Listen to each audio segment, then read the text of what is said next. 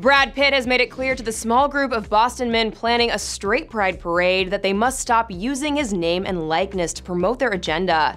A source close to the star confirmed to The Hollywood Reporter that the actor ordered the group to cease using his name and image after they named him their official mascot. The group called Super Happy Fun America is apparently a serious group, quote, on behalf of the straight community. The group's website previously named the actor as their mascot and read, Congratulations to Mr. Pitt for being the face of this important civil rights movement. Now, where Pitt's name used to be, the website reads redacted. The group made headlines recently when it sought a permit for a parade in Boston out of spite for June being Pride Month for the LGBTQ community. On Wednesday, Marvel star and Boston native Chris Evans also gave the group a piece of his mind, tweeting, Wow, cool initiative, fellas. Just a thought instead of straight pride parade, how about this? The desperately trying to bury our own gay thoughts by being homophobic because no one taught us how to access our emotions as children parade. What do you think? Think? Too on the nose? For more on this story, head to thr.com. Until next time, for the Hollywood Reporter News, I'm Tiffany Taylor.